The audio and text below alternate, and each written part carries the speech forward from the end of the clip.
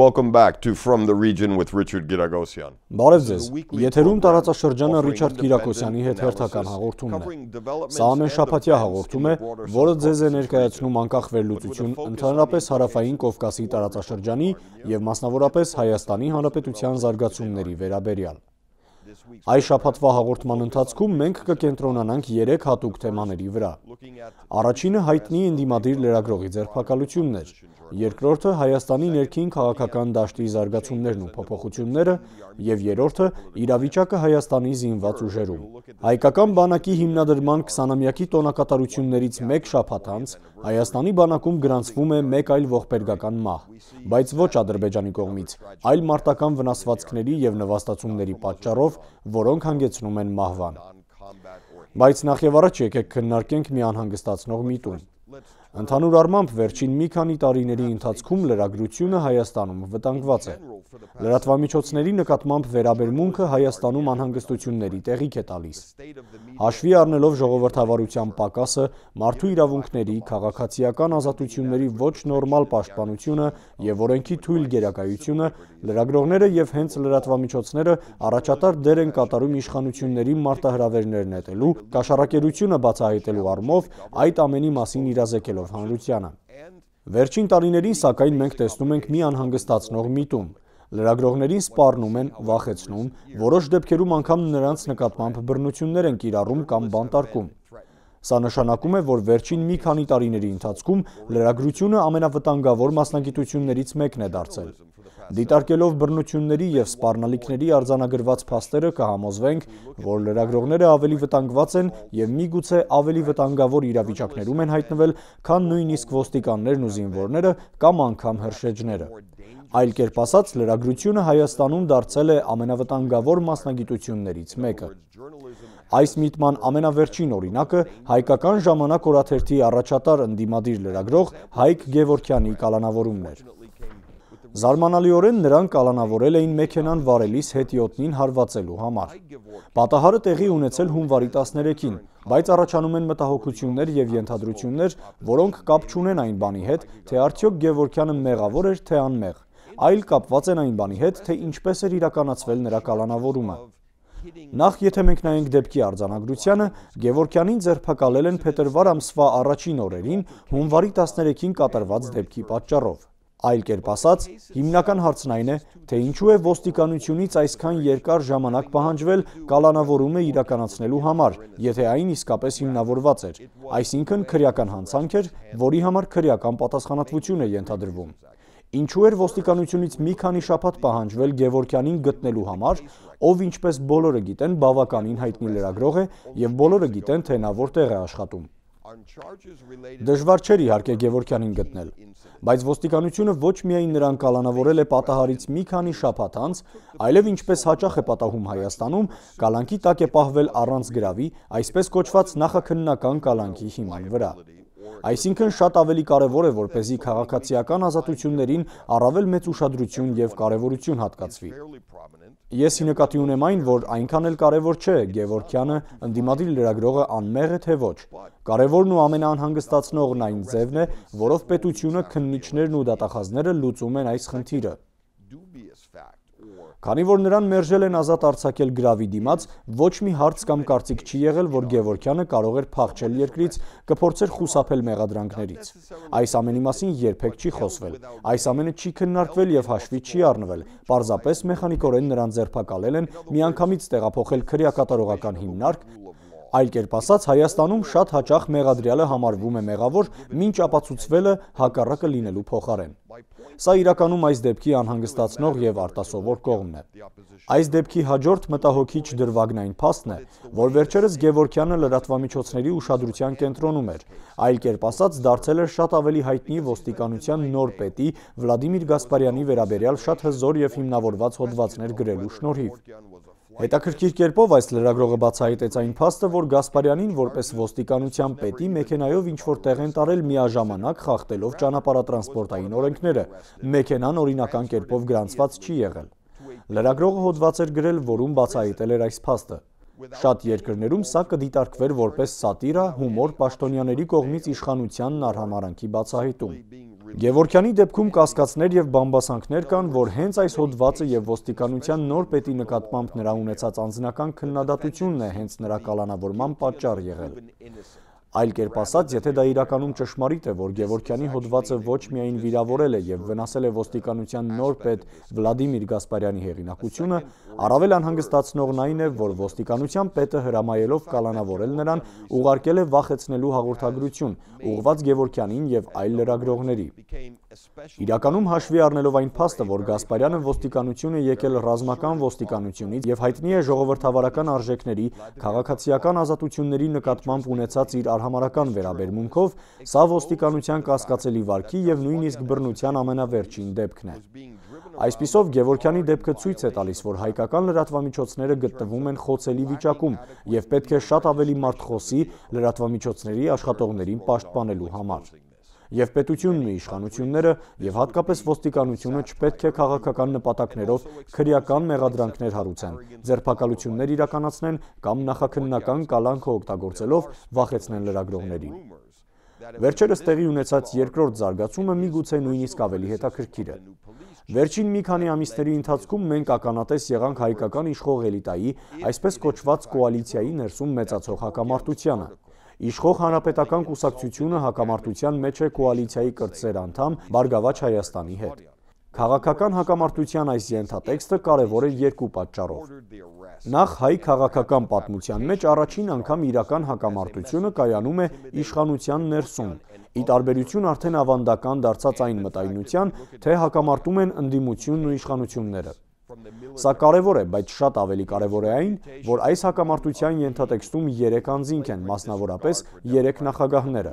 Լևոն Տեր-Պետրոսյանը եւ նրա գլխավորած ընդդիմությունը, Հայ ազգային կոնգրեսը, նախկին նախագահ Ռոբերտ Քոչարյանը եւ նրա Բարգավաճ Հայաստան կուսակցությունը եւ ներկայիս նախագահ Սերժ Սարգսյանը հանրապետական կուսակցության ղեկավարը։ Սա 3 նախագահների ճակատամարտ է։ Հետաքրքիր կերպով Տեր-Պետրոսյանն ու Սարգսյանը ներգրավված էին կարևոր ներքին երկխոսության մեջ։ Քոչարյանը, ով սպառնում է վերադառնալ քաղաքականություն տարբեր ձևերով, նաև Բարգավաճ Հայաստանի միջոցով, բաց հակամարտության մեջ է կամ ինչպես նշել են կուսակցությունների առաջնորդները, թշնամական բաց մրցակցության մեջ է։ Այնուամենայնիվ հետաքրքիր էր վերջերս կոալիցիայի ղեկավարների միջև տեղի ունեցած հանդիպումը։ Նախագահ Սարգսյանը հանդիպել է Բարգավաճ Հայաստանի ղեկավար Գագիկ Ծառուկյանի եւ օրինաց երկիր կուսակցության առաջնորդ Արթուր Բաղդասարյանի հետ։ Այժմ տեղեկություններ կան կոալիցիոն նոր համաձայնագրի կնքման ցանկության վերաբերյալ, որով 2013 թվականին նախագահ Սերժ Սարգսյանի վերընտրությանն աջակցելու հարցն է քննարկվել, եւ որտեղ խոստանում են մակերեսային եւ խափուսիկ կամ թվացial միասնություն։ Շատ զարմանալի կլինի, եթե իրականում սա տեղի ունենա, քանի որ կոալիցիոն նոր համաձայնությունը, եթե իհարկե նման բան որոշվի, իրականում չի արձանագրի որևէ ձեռքբերում հակամարտությունը մի կողմ դնելու եւ միավորվելու առումով այլ ընդամենը կնշանակի հանրապետական կուսակցության հաղթանակը Բարգավաճ Հայաստանի հետ ունեցած հակամարտությունում։ Բայց մենք իրականում տեղեկություններ չունենք նախկին նախագահ Քոչարյանից կամ նրա աջակիցներից։ Նրանք դեռևս պետք է պատասխան հարցակում սկսեն։ Այսպիսով դեռևս շատ շուտ է ու նաև սխալ է ասել, թե այս հակամարտությունը լուծված է։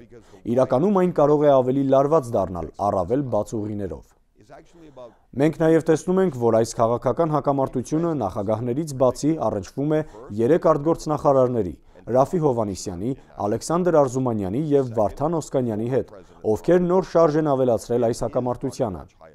Ավելի կոնկրետ, այս երեք նախկին արտգործնախարարները սկսել են գործել մինչ մայիսին կայանալիք խորհրդարանական ընտրությունները, որոնք նոր եւ հետաքրքիր շարժ ու ակտիվություն են խոստանում։ Նախկին արտգործնախարար Ռաֆի Հովանիսյանն այժմ ներգրավված է ուղիղ բանակցությունների մեջ, ներկայացնելով իր ընդդիմադիր ժառանգություն կուսակցությունը Ալեքսանդր Արզումանյանի հետ, որը նույնպես նախկին արտգործնախարար է ու նաև մի ժամանակ Լևոն Տեր-Պետրոսյանի քարոզարշավի ղեկավարը Սարգսյանի դեմ ուղղված պայքարում։ Արզումանյանն ու մի քանի այլ մարդիկ հեռացել են Լևոն Տեր-Պետրոսյանի ճամբարից եւ սկսել են նոր քաղաքական կուսակցություն սկսելու բավականին կասկածելի եւ հարցեր հարուցող փորձ, ընդդիմություն ընդդիմության դեմ, եթե կարելի է այդպես ասել։ Այս նոր քաղաքական շարժումը կամ կուսակցությունը ազատ դեմոկրատները այժմ բանակցում է Ռաֆի Հովանիսյանի ժառանգություն կուսակցության հետ ընտրական դաշինք ստեղծելու նպատակով նախքան մայիսին կայանալիք ընտրությունները իրենց դերը հաստատելու առումով։ Հայաստանի իշխանության համար սա հետաքրքիր հաղորդագրություն է ուղված Լևոն Տեր-Պետրոսյանին եւ ավանդական ընդդիմությանը։ Հետաքրքիր է նաեւ նախկին արտգործնախարար Վարդան Օսկանյանի վերջերս մամուլի ասուլիսում արածային հայտարարությունը, թե տարածված բամբասանքները Բարգավաճ Հայաստանին միգուցե միանալու իր բանակցությունների վերաբերյալ իրականում անհիմն չեն։ Սա նշանակում էր, որ նախին արտգործնախարար Օսկանյանը, որը հայտնի է նաև որպես Քոչարյանի հավատարիմ, կարող է իրականում ձեռք բերել Բարգավաճ Հայաստանի այսպես կոչված կուսակցական տոմսը նախկին նախագահ Ռոբերտ Քոչարյանի հավատարիմներին ու աջակիցներին միանալու առումով հանրապետական կուսակցությանն ընդդիմանալու համար։ Առաջիկայում մենք տեսնում ենք նաև հետաքրքիր ընտրություններ Հրազդան քաղաքի քաղաքապետի պաշտոնի համար։ Լևոն Տեր-Պետրոսյանի հավատարիմ նախկին քաղբանտարկյալ Սասուն Միքայելյանը որը նաև հանրապետական կուսակցության նախկին անդամ է եւ Ղարաբաղյան պատերազմի մասնակից, մարտահրավեր է ներկայացնում Հրազդանի ներկայիս քաղաքապետին։ Վերջին տեղեկությունների համաձայն Հրազդանի ներկայիս քաղաքապետը, որը հանրապետական կուսակցության անդամ է, Սասուն Միքայելյանի արշավի դեմ պայքարում օգտագործում է իր ձեռքում եղած բոլոր լծակները, ճնշելով ուսուցիչներին տարբեր ծառայությունների աշխատակիցներին։ Սա ցույց է տալիս, որ մինչ մայիսին կայանալիք ընտրությունները հնարավոր կլինի իրականում ստուգել, թե ինչպիսին է հրազդանում քաղաքական միջավայրը նախընտրական շրջանում։ Այլ կերպ ասած, վստահ եղեք, որ մինչ ընտրությունները արդեն արկա են անհավասար պայմաններ։ Եվ եթե անգամ ընտրություններն անցնեն ազատ եւ արդար, միևնույն է այն ավելի շուտ կլինի մի ռազմավարություն, որը հիմնված է անհավասար պայմանների, իշխանական լծակների օգտագործման վրա։ Այսպիսով, սա մի բան է, որին դիտորդները նույնպես պետք է ուշադրություն դարձնեն։ Վերջապես այս շապատվա հաղորդման երորդ կետը երիտասարդ զինվորի մահվան ողբերգական և տխուր լուրն էր։ Առայժմ մանրամասները ամբողջությամբ չեն հրապարակվել և փաստերը դեռևս չեն հաստատվել։ Վերջին պատահարի ընթացքում նաև կրակոց է եղել հայ զինվորի վրա մեկ այլ հայ զինվորի կողմից։ Նախնական արձանագրության մեջ նշվում է պատահական կրակոց զենքի ոչ ճիշտ գործադրման հետևանքով Լեռնային Ղարաբաղի ռազմական բազաներից մեկում։ Եվ դժբախտաբար երիտասարդ զինվորը մահացավ իր կրակոցից ստացած վերքերից հիվանդանոցի ճանապարհին։ Բայց անկախ այն հանգամանքից նրա մահը պատահական էր թե գիտակցված գործողություն, սա բացահայտում է Հայաստանի զինված ուժերում պատասխանատվության պակասի եւ կարգապահության անկման առավել մեծ խնդիրը։ Մի բան, որը պաշտպանության նախարար Սեյրան Օհանյանը արդեն պարտավորվել է լուծել, բայց այս նոր պատահարը բացահայտում է, որ խնդրին հարկավոր է տալ առավել վճռական եւ ամբողջական լուծում։ Հայոց բանակում տեղի ունեցած անընդունելի դեպքերի համար պատասխանատու է ոչ միայն պաշտպանության նախարարը, այլ նաև զինված ուժերի շտաբի պետը եւ այլ բարձրաստիճան պաշտոնյաներ։ Այս բարձրաստիճան պաշտոնյաների մեծ մասը հրամանատարության քիչ փորձ ունեն եւ նրանց գործողությունը բավականին կասկածելի է։ Մենք պետք է պատասխանատվություն դնենք ոչ միայն զինվորների եւ հրամանատարների վրա, այլև բոլորի, ներառյալ գեներալները։ Եվ այս առումով սա շարունակական խնդիր է, որը քննարկման առավել մեծ կարիք ունի։ Այդ իսկ պատճառով այս թեմային մենք դժբախտաբար անդրադառնում ենք գրեթե ամեն շաբաթ, քանի որ խնդիրը մնում է չլուծված։ Մեր քննադատությունը կառուցողական է, մեր անհանգստությունը, մտահոգությունը սրտացավությունից է։ Հայկական բանակը Հայաստանում սիրված կառույց է, որը պատկանում է յուրաքանչյուր հայ քաղաքացու։ Այլ կերպ ասած, հայկական բանակի զարգացումները կարիք ունեն քննարկվելու։ Ցանկացած քննադատություն, ցանկացած կառուցողական մոտեցում զինված ուժերը բարելավելու եւ հզորացնելու առումով իրականում հայրենասիրության նշան է եւ ոչ թե դավաճանության։